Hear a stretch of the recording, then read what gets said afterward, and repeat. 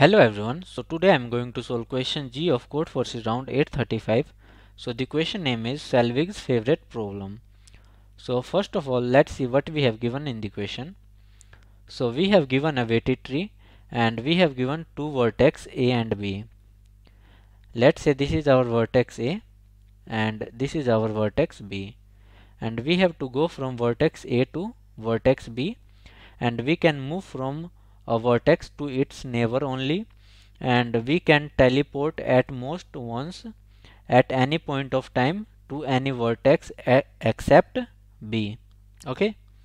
And there is one more condition that is we can enter the uh, vertex B only if the XOR of all the weights in the path to B is 0 if there is any such path we satisfy all these conditions then we have to print yes otherwise no.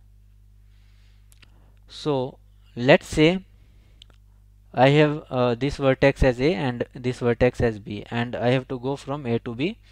Then I'll choose this path and reach to this one.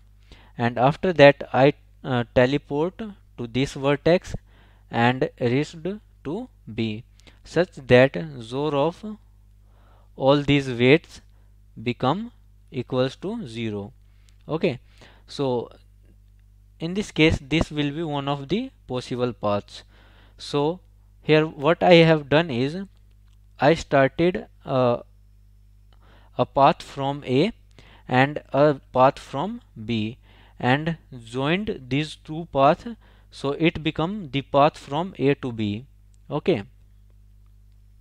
So I will use this logic to solve this question. So to solve this question you should know two concepts. The first one is there is only one path between every two uh, vertex in a tree and second one is the XOR of a number with itself is equals to 0. So what I'll do is I will start a DFS from vertex A and find the XOR between A and every other vertex and stored it in a array list named distance A.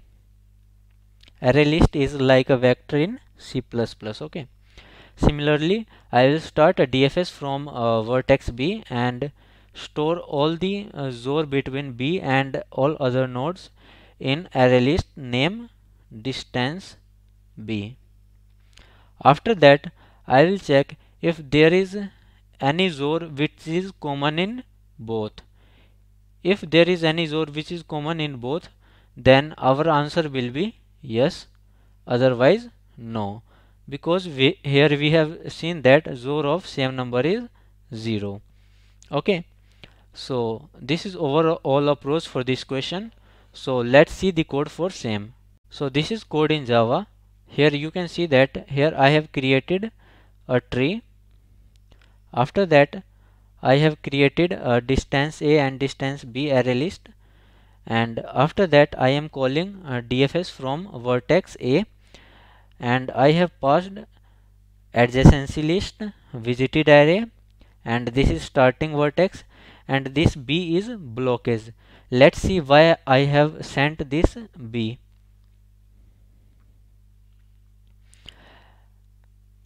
While uh, starting DFS from uh, vertex A, you should keep in mind that this DFS shouldn't cross this B.